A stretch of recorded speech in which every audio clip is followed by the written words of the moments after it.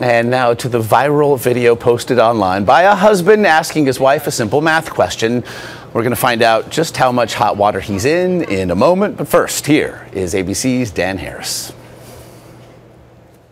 Okay, what do you think, Chell? Travis Chambers and his wife Chelsea were on a road trip when he decided to pose a math oh. question. If you are traveling 80 miles per hour, how long does it take you to go 80 miles?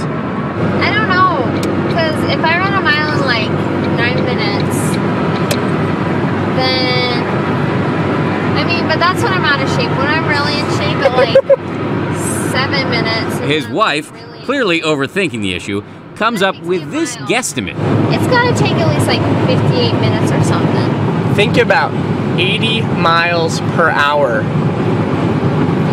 So how long does it take me to go 80 miles if I'm traveling 80 You're miles driving per. You are hour? you are driving faster than a minute a mile. I mean, some cars' tires turn faster than others.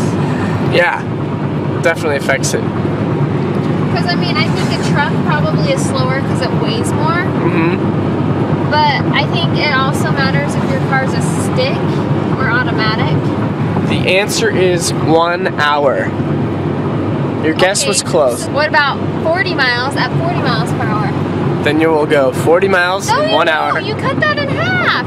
You're going more than a mile a minute. Toward the end of the video, there's a telling moment when Chelsea says this. He's not filming. This morning, she might be wishing she'd asked that just a few minutes earlier. Miles per hour. For Good Morning America, Dan Harris, ABC News, New York. Dan, thanks.